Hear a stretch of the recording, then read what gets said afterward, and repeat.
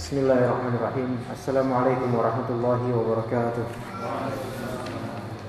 إن الحمد لله نحمده ونستعينه ونستغفره ونعوذ بالله من شرور أنفسنا ومن سيئات أعمالنا من يهده الله فلا مضل له ومن يضلل فلا هادي له أشهد أن لا إله إلا الله وحده لا شريك له وأشهد أن محمدا عبده ورسوله لا نبي بعده اللهم إنا نسألك علما نافعا ورزقا طيبا وعملا متقبلا uh, InsyaAllah kita akan melanjutkan kajian Umdatul Ahkam Yang uh, sebelumnya kita sudah membahas sebenarnya hadis 25 Namun mungkin ada pentingnya kita sedikit mengulangi hadis 25 tersebut Yang di kertasnya ada kertas lama ada hadis 25 itu Ada hadis 25 ya Hadis 25 حديث رواية علي بن أبي طالب رضي الله عنه عن علي عن علي بن أبي طالب رضي الله عنه قال كنت رجلا مذا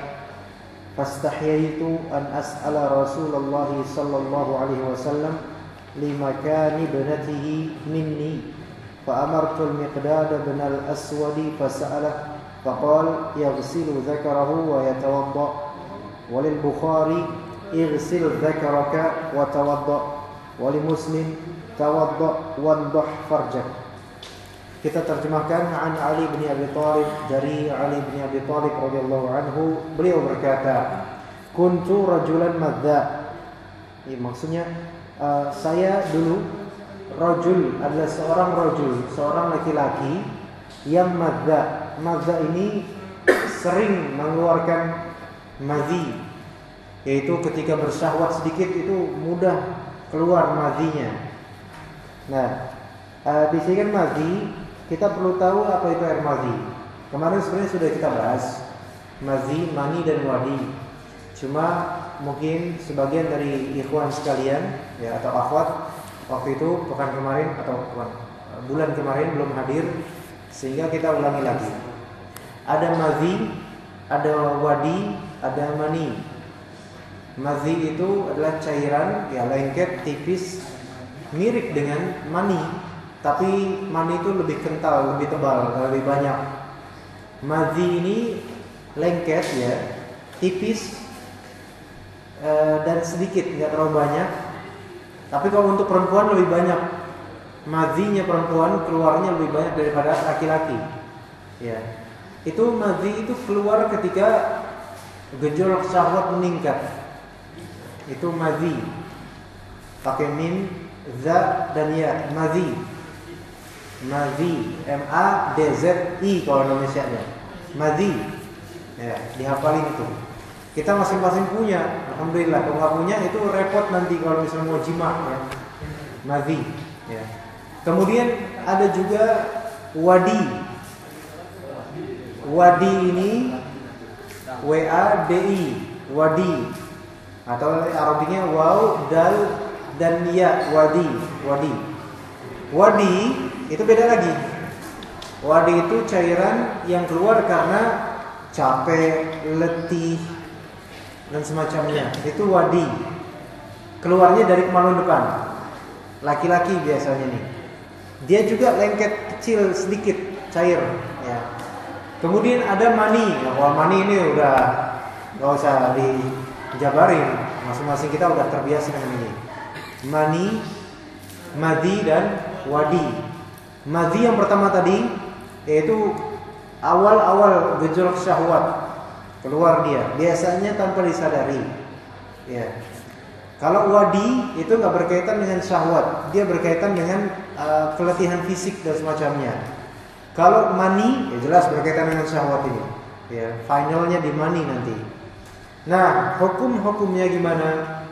Madhi dan wadi secara zat dua-duanya najis. Najis. Najis, ya. Berarti harus dicuci itu. Baik pakaian yang kenanya maupun zakarnya ataupun vaginanya bagi perempuan. Kalau mani, mani itu secara zat tidak najis. Ya, jadi kalau misalnya antum melihat mani, wah punya sendiri pastinya. Mani ini Kita hukumi najis atau tidak? Tidak najis. Kita sendiri semua berasal juga dari mani tadi ya. Mani tidak najis. Kalau misalnya mani tersebut lengket di celana, ya, misalnya seorang ikhwan sama istrinya setelah bersenggama ya, terus ada mani yang lengket di uh, celananya, ya, berbekas gitu, dan dia mengeluarkannya banyak, berbekas, ya. Kemudian dia tidak mencuci mani itu melainkan dia langsung mandi junub. Mandi junub, selesai mandi junub, sholat zuhur. Sholat zuhur masih terbuka sini bekas mani. Sholatnya sah atau tidak? Sah sholatnya. Walaupun jelas ini ada maninya. Masih kalau misalnya dia melihat itu mani, istrinya pun kalau melihat tahu ini mani yang tadi gitu. Nah, sah sholatnya, gitu ya. Jadi itu bukan kencing, Beda kalau misalnya kencing, kencing najis jelas kan. Jadi kalau mani sah sholatnya. Tapi kalau misalnya madhi, nah ini madhi najis. Kalau mengenai celana dalam misalnya, kemudian tahu, kalau tahu ya, kalau tahu ini madhi mengenai celana dalam, maka harus dicuci itu bagian kena madhinya dan juga zakarnya harus dicuci. Begitu ya. Baik, jadi eh, cairan-cairan yang keluar dari kemaluan depan itu madhi najis nggak? Najis. Ada wadi najis nggak? Najis. Ada mani najis nggak? Enggak. Ada seni. Air seni, air kencing. Najis atau enggak? Najis. Kalau darah yang keluar najis nggak?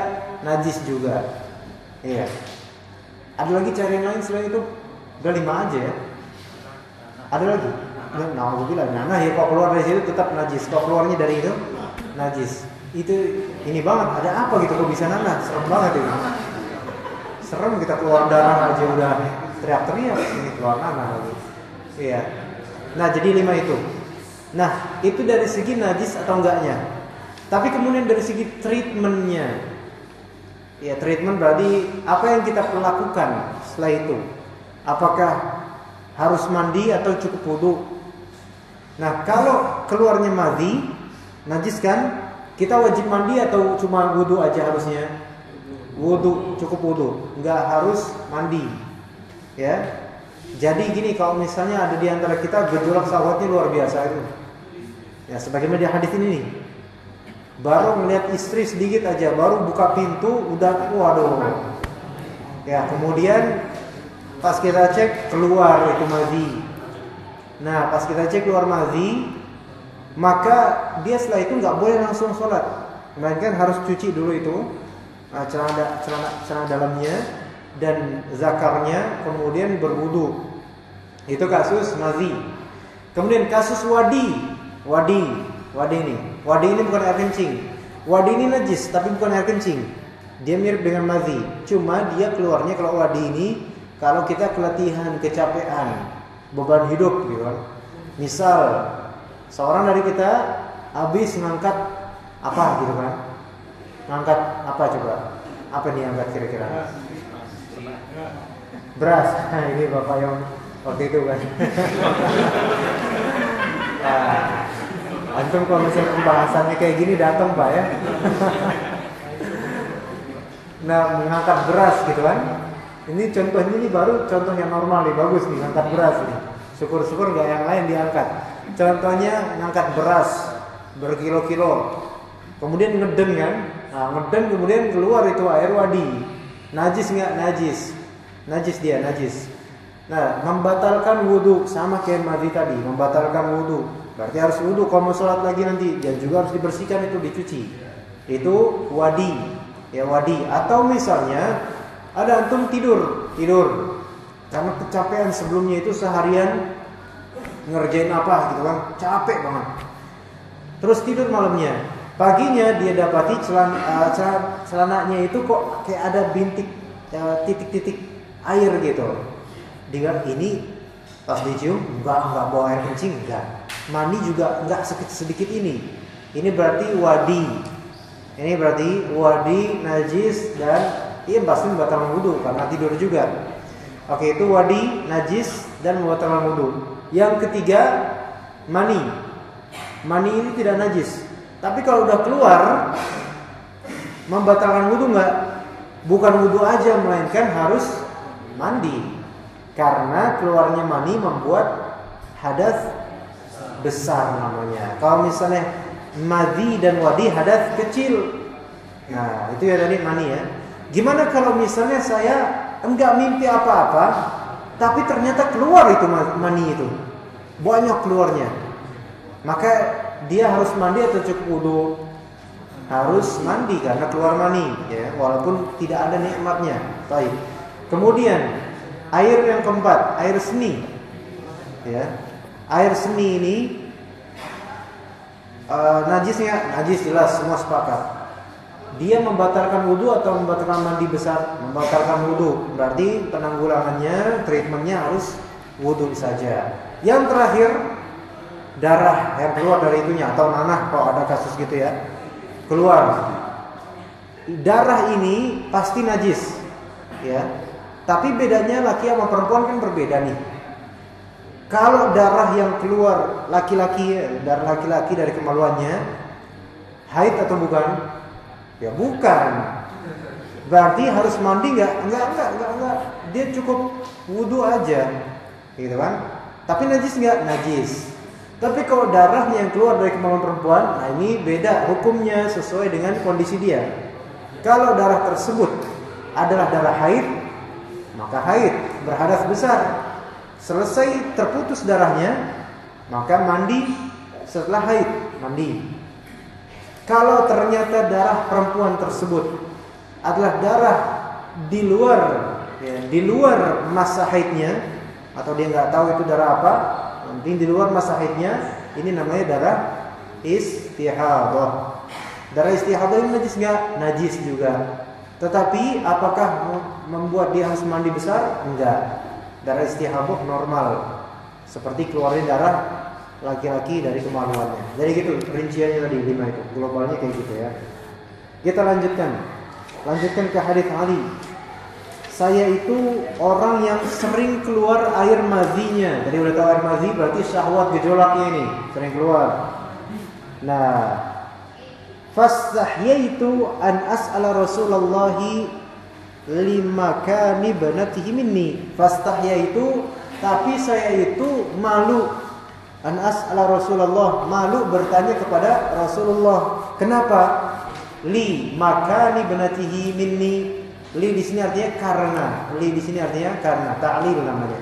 Karena makan posisi ibnatihi anak perempuannya Rasulullah minni dariku. Yaitu bahwasanya Ali ini nikah sama siapa? Fatimah, ya kan? Fatimah. Ali ini sebenarnya sepupuan juga gitu sama sama Nabi ya kan. Karena Ali anaknya Abu Thalib dan Abu Thalib pamannya Nabi. Nah, uh, Fatimah adalah anaknya Nabi Muhammad SAW. Jadi Nabi Muhammad adalah sepupu sekaligus mertua. Lah, ya kan gak enak kalau misalnya antum punya mantu laki-laki ya nikah sama anak perempuan antum terus nanya sama antum, "Pak, saya ini sering keluar mazi, Pak." Nah, kan gak enak. Berarti ini wah, kayaknya anak sering anak saya sering gitu ini jangan-jangan mikirnya gitu jadinya ya nggak enak gitu mikirnya nah maka malu ini fa amartul miqdad bin al aswad maka saya pun menyuruh miqdad bin al aswad fasalahu faqal maka miqdad miqdad bin aswad bertanya kepada nabi tentang kasusnya Ali bin Abi Thalib dan kemudian menjawab ya ghsibu zakarahu wa yatawadda dia mencuci zakarnya kemudian uh, berwudu. Cukup itu, mencuci zakarnya, kemudian berwudu. Itu sebenarnya urutannya yang sahih seperti itu. Maksudnya urutan sahih pokoknya prakteknya seperti itu. Adapun dalam hadisnya kadang didahulukan yang silu zakarahu, kadang enggak. Di sini lihat yang kedua, riwayat Bukhari, irsil zakaraka wa tawaddo. Cucilah zakarmu kemudian wudulah. Riwayat Muslim, tawaddu wandah farjaka. Wudulah dan juga sekaligus cucilah farj yaitu kemaluan kamu. Di sini bukan berarti yang terakhir Urutan bukan. Urutannya cuci dulu kemaluan, baru wudhu. Karena kalau wudhu dulu kemudian cuci kemaluan, batal maning gitu kan, batal lagi. Maka urutannya adalah ini. Jadi tawaddo wan doh wow di sini bukan berarti urutan. Artinya dan. Maksudnya kamu jangan cuman wudhu doang, tapi cuci itu kemaluan kamu Karena siapa tahu masih ada bekasnya beleperan di situ, ya. Baik, itu hadis ke-25. Kita menuju ke hadis 26. عن عباد بن تميم عن عبد الله بن زيد بن عاصم المازني رضي الله عنه قال شكي إلى النبي صلى الله عليه وسلم الرجل الرجل يخيل يخيل إليه أنه يجد الشيء في الصلاة فقال لا ينصرف حتى يسمع صوتا أو يجد ريحا Hadis riwayat Abbad bin Tamim dari Abdullah bin Zaid bin Asim Al-Mazini radhiyallahu anhu bahwa sukia ila Nabi SAW. Sukia diadukan kepada Nabi SAW. Diadukan kepada Nabi SAW. Siapa yang diadukan? Ar-rajulu laki-laki ada seorang laki-laki ya diadukan begini yukhayyalu ilaihi yaitu dibimbangkan atasnya padanya. Yukhayyal itu dikhayalkan, dibimbangkan, diberikan was-was. Ini iya apa enggak, iya apa enggak gitu kan? Yukhayyalu ilaihi annahu yajidu syai'a fi shalah. Bahwasanya dia seakan-akan mendapatkan sesuatu da dalam salatnya. Maksudnya sesuatu sini apa? Ini nih. Buang angin. Ya. Jadi perut tuh kayak kadang kan perut kita menggelagak pas salat rong rong rong rong rong gitu kan nah ini keluar ya tadi udah keluar belum lagi kan kadang ragu pas saya Allahu Akbar bukan karena lapar mungkin karena uh, kebanyakan makanan di dalam pengen keluar cuma ragu-ragu baik dianya atau yang di dalamnya juga ragu-ragu mau keluar apa enggak nah ini kan membuat kita juga ragu-ragu nih ini keluar apa enggak tadi ada suara nih tapi suara perut nah apa solusinya kalau kita dalam keadaan ragu-ragu, kita tuh barusan kentut atau enggak, gitu loh. Ini yang dalam keadaan ragu-ragu ya, bukan dalam keadaan pasti. Kalau misalnya udah yakin kentut, ya udah batalin. Ya, ini yang dalam keadaan ragu-ragu. Kalau misalnya udah terdengar suara sebelumnya, ya suara gede lagi, lagi itu getar lagi kan, kan, uh, ah, udah jelas ini suara, jangan. Itu tadi kentut saya bukannya ya? Itu jelas kentut dia. Ya. Baik suaranya vibrate atau ringtone yang besar atau gimana yang penting kalau udah tahu suaranya itu punya dia dan dia yakin udah keluar juga dia yakin menyembul keluar gitu udah langsung potong sholatnya ya. jangan gengsian. Brut. waduh.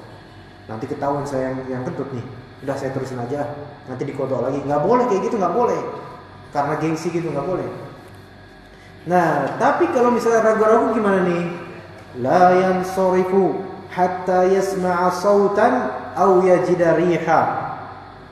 Kalau ragu-ragu jangan batalin dulu. Jadi beda nih. Kalau misalnya antum yakin antum yang kedut batalin langsung. Jangan gengsi. Walaupun nggak bersuara kentutnya Kadang kentut yang nggak bersuara itu lebih signifikan penyebarannya dibandingkan yang bersuara. Iya kan? Kadang ya kan? Atau nggak ada suara sama sekali, dia benar-benar silent gitu. Silent tapi ada gitu kan. Nah, aduh, perasaan kentut nih pasti bau nih. Tadi habis makan ketoprak, bawang putih banyak banget lagi kan? Atau baru makan telur tadi kan? Kalau saya batalin, orang-orang bakal tahu saya pelakunya. Nah, kan ini pikiran setan loh jadi. Jangan jangan batalin, jangan batalin nanti aja. Nggak boleh. Nggak apa-apa orang tahu nggak apa-apa. Iya. Habis itu ah, harus batalin. Bismillah batalin. Keluar wudhu lagi. Itu nggak apa-apa. Walaupun orang kemudian mereka bersepakat bau banget nih siapa yang Oh ini kosong. Wah berarti dia yang tadi sini.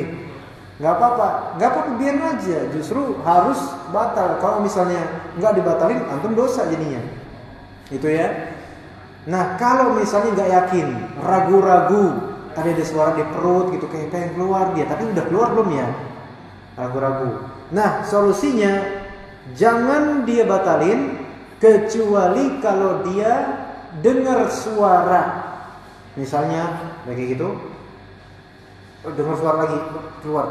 Oh iya, nah baru kau dengar suara lagi, yakin keluar itu suara, maka dia batal. Au yajidariha atau dia menemukan apa baunya, ada baunya. Apalagi kalau dia kenal dengan bau kentutnya sendiri. Nah, bisa mengidentifikasi, eh ini kentut saya kayak gini baunya, berarti saya. Atau tiba-tiba terserah dia ragu-ragu, tiba-tiba ada bau, wah ini kayaknya saya nih, ya udah saya batalin, baru bubarin. Ya. Ya. Tapi tidak tidak mesti semua uh, kasus mencium bau kentut berarti kita pelakunya belum tentu ya. Belum tentu. Ada bau? Hm, bau kentut? Ah saya yang batal nih kayak ini karena saya mencium bau. Enggak. Jadi mencium bau kentut itu tidak membatalkan eh, tidak membatalkan sholat. Karena kentut itu enggak enggak najis ya kan? Ada yang bilang kentut najis enggak kentut najis enggak tapi busuk enggak busuk. Tapi najis ya dia bukan benda materi yang dia dia gas ya. Kalau misalnya di najisin ya parah. Semuanya batal nanti jadinya. Iya antum yang ketut satu orang yang batal semua orang. Yang mencium kan otomatis kan dapat najis. Nempel najis di hidung. Batal nanti itu nggak bisa. Jadi nunggu sampai yakin dulu baik jadi ragu-ragu dalam sholat itu tidak membatalkan sholat kecuali kalau dia berhasil meyakinkan dirinya bahwasanya dia batal baru dia batal sholatnya. Baik. Uh, kemudian hadis berikutnya an Ummi Qais bint Mihsan al-Asadiyah annaha atat bibnin laha saghirin lam ya'kul at-ta'am ila Rasulillah sallallahu fa ajlasahu Rasulullah sallallahu alaihi wasallam fi hijrihi fabala ala thawbihi fada'a bima'in fanadhahu wa lam yaghsilhu dari Ummu Qais bint Mihsan al-Asadiyah annaha bahwasanya beliau yaitu Ummu Qais atat datang ya bibnin laha dengan anak laki-laki punya dia sahir masih kecil lam yakulit ta'am belum makan makanan berarti masih bayi benar-benar belum makan apa-apa masih nyusu masih minum ASI, belum makan. Ia datang kepada Rasulullah SAW. Fa'ajlasahu Rasulullah SAW fi hijrihi. Maka Rasulullah pun ajlasa itu mendudukkan, memangku beliau. Ya, memangku bayi-bayi tersebut. Fi hijri itu dalam pangkuan beliau, dipangku itu bayi. Fabala ala taubihi. Siapa yang kencing sini? Maka dia pun kencing di bajunya dia. Siapa yang kencing? bayinya Pak Rasulullah. Maka bayi itu pun kencing di atas bajunya Rasulullah. Fada'a bima, maka kemudian urutannya kemudian maka da'a. Da'a ini menyeru, memanggil, maksudnya meminta bimain untuk diambilkan air. Nah, ini dalil bolehnya seorang pemimpin atau ketua atau orang lebih tua untuk menyuruh yang lebih muda berkhidmat padanya untuk mengambilkan sesuatu. Tolong dong e, Mas ambilkan saya ini boleh ya. Boleh. Di sini Rasulullah mencontohkan, tolong ambilkan air kalau butuh ya. Ambilin air ya. Fanadhahu kemudian Rasulullah nadha di dalamnya memercikkan. Ya, nadha itu memercikkan artinya. Memerc apa yang dipercikan? Apakah bayinya dipercikan? Mukanya cucu gitu. Ah, bandel kamu nih ya, Enggak, tapi yang dipercikan adalah baju yang terkena air kencing bayi itu. Walam yaghsilhu dan tidak mencuci baju itu. Maksudnya beda antara memercikan dengan mencuci, Pak. Misalnya nih, saya ada jaket ini kena kencing bayi laki-laki. Ini segini lah, bunderan gitu kencingnya lah. Ya. Kemudian saya percikan itu yang penting tercovery area bunderan itu, kena semua, gitu kan? Ya, jangan cuma bersihkan sah Dah begitu doang. Mau yang mana kek. Tapi semuanya harus kena tercovery ya.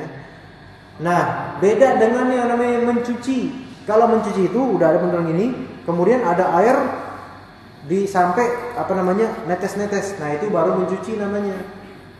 Ya jadi bedakan antara mencuci dengan memercikan. Memercikan itu cukup gini aja. Udah selesai cover semua udah. Walaupun bawahnya gak netes-netes. Tapi kalau mencuci harus benar-benar berair, mengalir dan menetes ke bawah gitu. Itu mencuci. Ya. Nah ini salah satu hukum.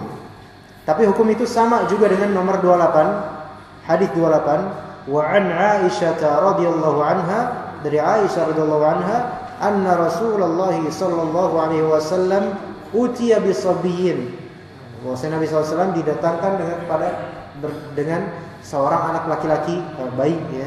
Fabala ala thawbihi. Sama kayak tadi kencing pada uh, pakaiannya. Fada'a bima nyuruh supaya um, ada air didatangkan air. Kemudian wa atba fa atba'ahu iyyahu. Kemudian atba'ahu atba'a di sini artinya menciprati ya. menciprati mencipratkan pada baju tersebut wali muslim dalam riwayat muslim fa atba'ahu baulahu kemudian menciprati bekas baul kencingnya itu walam yaghsilu dan tidak sampai mencucinya ini khusus untuk kencing bayi laki-laki yang belum makan selain ASI. Adapun kalau bayi laki-laki tersebut udah makan wafer, makan roti, makan pisang, ya, ya apalagi udah bisa makan es krim dan semacam itu udah udah benar-benar harus dicuci bekas ininya, gitu ya. Ini baik baju ataupun kasur, bahkan bedong sekalipun ya. Popok misalnya. Kalau mau dinginin tapi biasanya sekalian aja cuci ya. Nanggung banget sekalian cuci untuk bayi laki-laki yang baru makan asi ya, baru mengkonsumsi asi. Adapun kalau bayi perempuan maka hukumnya semua bayi perempuan kalau mencingin kita harus dicuci pakaiannya. Atau yang bekasnya itu harus dicuci nggak nggak cukup diciprati saja. Itu beda beda hukum. Tetapi dua-duanya secara zat sama-sama najis. Jadi jangan kira, oh bayi laki-laki kan diciprat doang berarti nggak najis. Enggak najis. Apa? Enggak najis. Najis tetap. Jadi kalau misalnya sejadah antum ya baru dikencingin sama bayi laki-laki yang masih minum ASI itu tetap tidak sah sholat di sejadah itu kecuali setelah antum menciprati sejadah itu dan itu pun mencipratinya harus sungguh-sungguh maksudnya semua bagian kena kencing harus kena semua dengan air begitu ya. Wallahu taala alam. Baik eh, ada yang mau bertanya? Dipersilakan. Dipersilakan ya pak. Silakan pak. Mani ya. Mandi wajib setelah mani.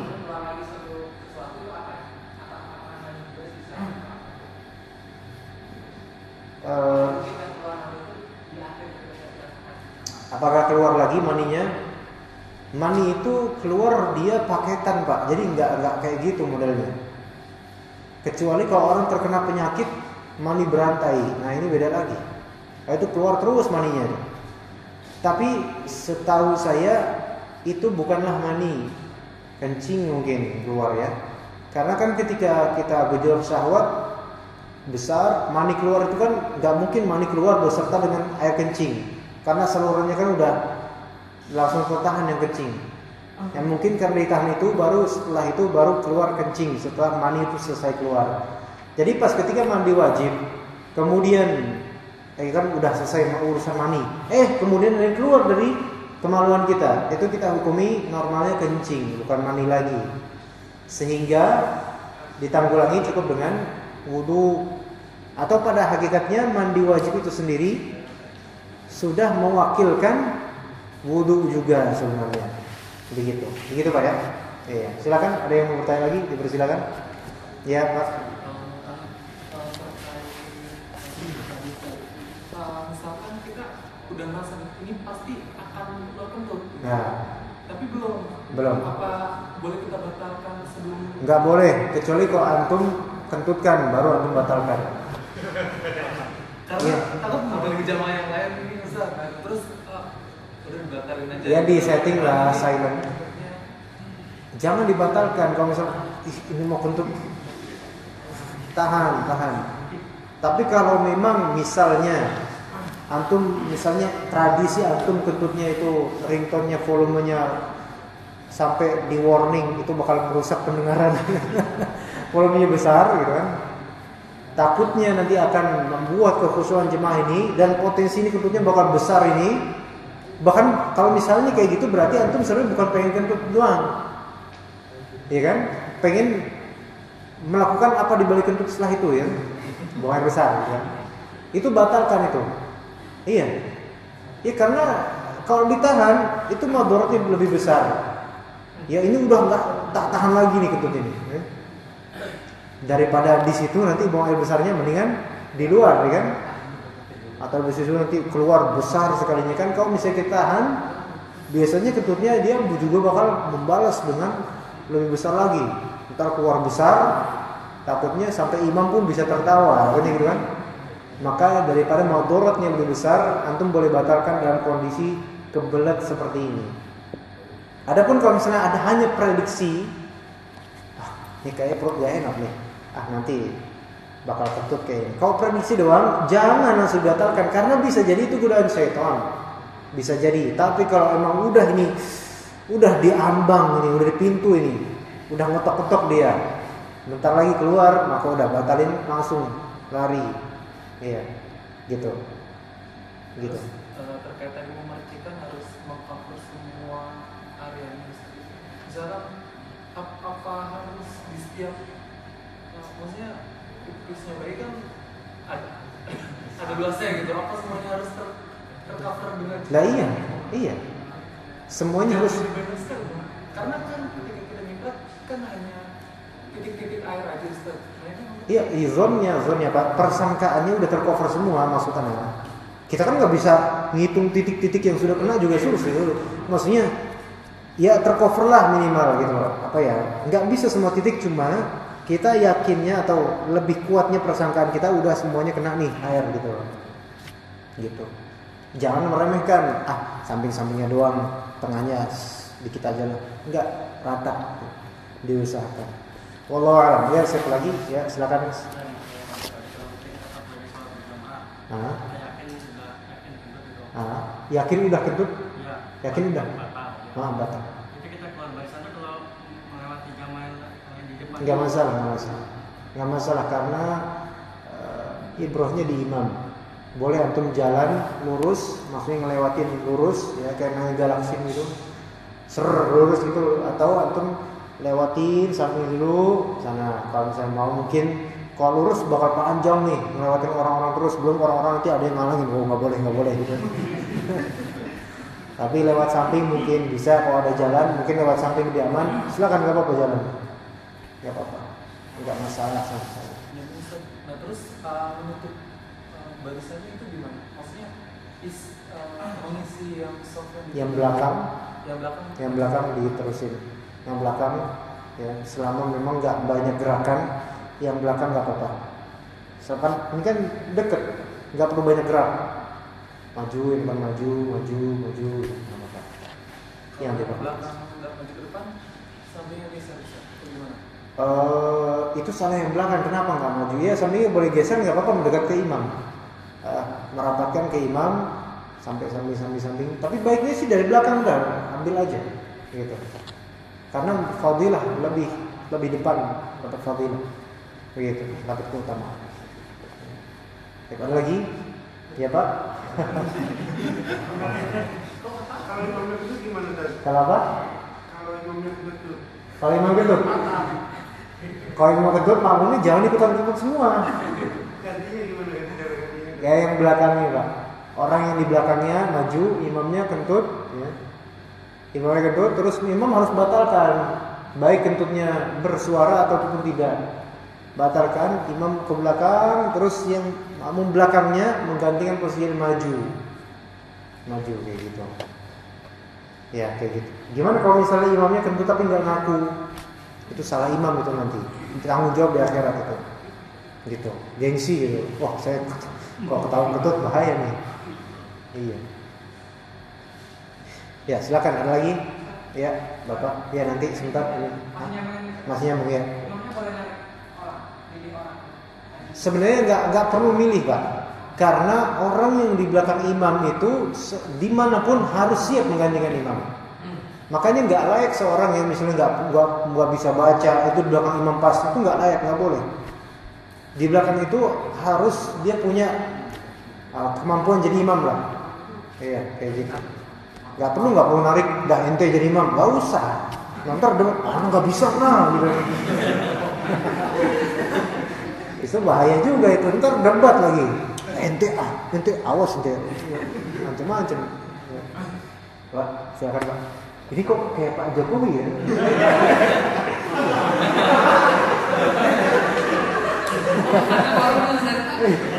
ini kehor- kehormatan ini suatu kehormatan ini Waalaikumsalam warahmatullahi wabarakatuh saya pernah apa pak iya pak silakan Kita ini lagi renang, misalnya lagi puasa nih. Oke.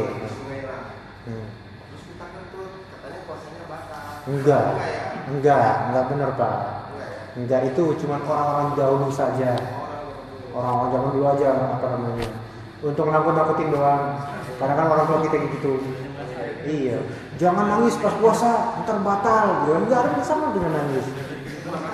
Iya, masa-masa pak. Baik, ada lagi, silakan.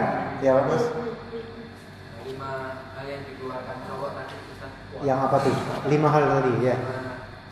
Iya, Mas ya. semua itu wanita juga memilikinya Eh, semuanya, iya wanita memilikinya. Mani eh, dari madhi ada, wadi juga ada, kemudian eh, air kencing jelas ada, kemudian eh, mani, eh mani air kencing, dan terakhir darah juga ada. Cuman kalau untuk darah wanita ada lebih lebih lebih banyak lagi, lebih spesifiknya lebih banyak lagi untuk wanita. Kalau laki-laki kan nggak ada haid nggak dapat, tapi darah yang keluar jelas penyakit kalau laki-laki, gitu. Semuanya ada. Hukumnya sama kecuali untuk darah haid dan nifas. Gitu. Baik. Ada lagi? Hmm. Nomor dua. Ya. Kalau hubungan suami istri walaupun nggak keluar air mandi tetap mandi. Tergantung dari antum sudah masuk atau belum. Kalau kemaluan atau zakar laki-lakinya sudah masuk, maksudnya kepala zakar, roksu zakar itu sudah masuk ke vaginanya istrinya, itu sudah dihukumi junub walaupun tidak ada rasa. Hmm. Tapi kalau baru bercumbu, kemudian pelukan belakang, walaupun telanjang dua-duanya, pelukan, tapi ini belum masuknya, belum masuk, belum dihukumi junub, belum. Nah, tapi kalau belum masuk tapi udah keluar maninya dihukumi junub. Gitu. Jadi barometernya di keluar maninya. Kalau belum dilihat masuk atau belum kepala zakarnya doang. Kepala zakarnya saja. Ya. Gitu. Udah masuk atau belum? Hmm. Nyambung terus, nah. Ber enggak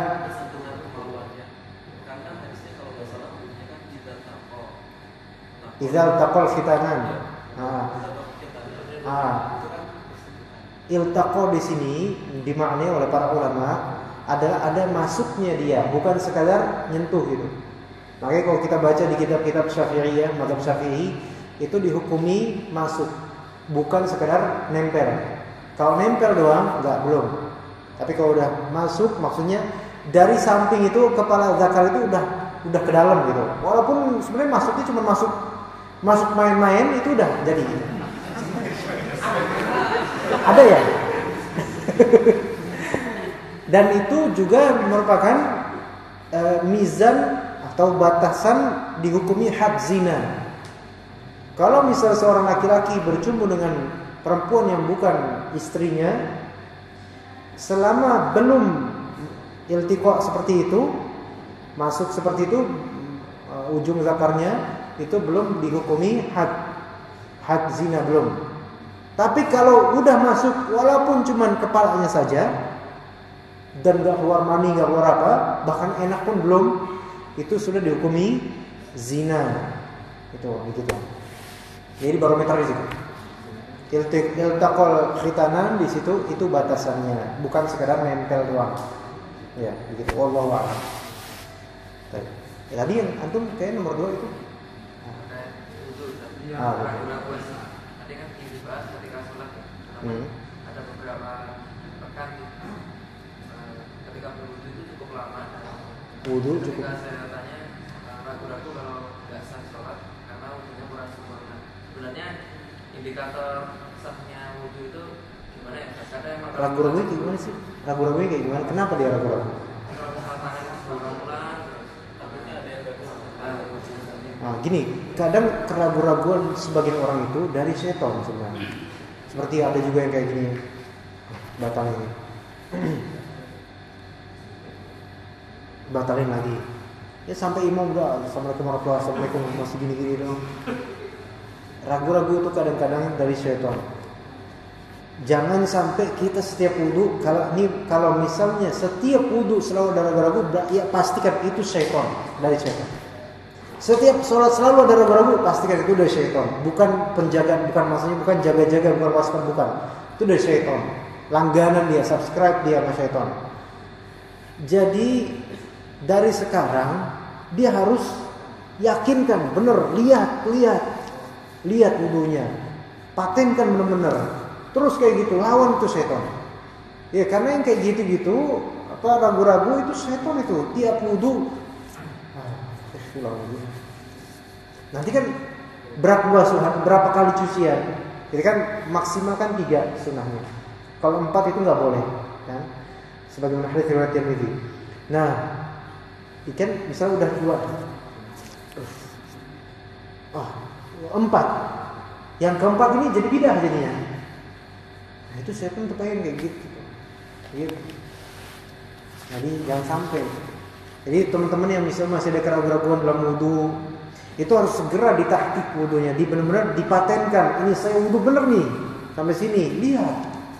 Ya, jangan sambil ngobrol, lihat. Ya. Terus ini dan wudhu gampang insya Allah. Nah kemudian kalau misalnya dia ragu-ragu setelah setelah selesai wudhu, oh kok ini kering sih? Kembali ke bangun keyakinan dia. Saya tadi wudhu gimana? Sampai sini nggak? Oh sampai sini. Ya udah, Walaupun ini kelihatan kering, ini masih basah, ini memang mudah kering dia. Di sini juga mudah kering. Karena kan kadang pas kita kayak gini, kayak gini, nempel di sini, kemudian kering di sini. Ini mudah kering di sini nih. Gitu. Gitu. Jadi insya Allah jangan ragu-ragu. Yakinkan. Jadi gimana? Antum jawabannya memuaskan nggak tuh ya? Memuaskan sekalian tambah lagi. Ah, ya. Kalau untuk mengatasi wudhu tadi kan sudah dijawab. Kalau mengatasi yang sholat tadi gimana? Supaya biar bisa niatnya. تعوذ من تعوذ أعوذ بالله من الشيطان الرجيم أعوذ بالله من الشيطان الرجيم أعوذ بالله من الشيطان الرجيم من همزه ونفخه ونفثه boleh Al-Muhim minta sama Allah perlindungan dari syaitan karena ini bisikan was-was. Ya was-was, diulang-ulang lama gitu. Iya. Nauzubillah. Ya, seperti itu.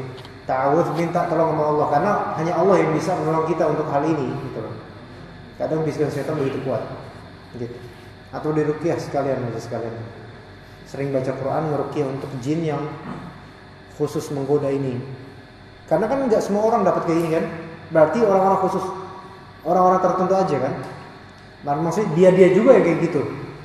Yang sering ragu-ragu itu. Berarti itu setannya langganan ini. Di sini terus dia. Iya. Makanya setiap mau sholat, setannya kena warning kalau dia mau sholat gangguin. Apa ragu-ragu, ragu-ragu, was-was. Seperti itu. Iya. Wallahu a'lam. Oke. Udah, udah selesai. Kira-kira cuma sampai sini ya. Insya Allah pada waktu yang mendatang kita akan melanjutkan hadis 29 sampai seterusnya insya Allah taala. Terima kasih atas kehadiran antum semua. Jazakumullah khairan atas atensi dan kehadirannya. إذا كتبنا كفارة المجلس. سبحانك اللهم وبحمدك أشهد أن لا إله إلا أنت أستغفرك وأتوب إليك. والسلام عليكم ورحمة الله وبركاته.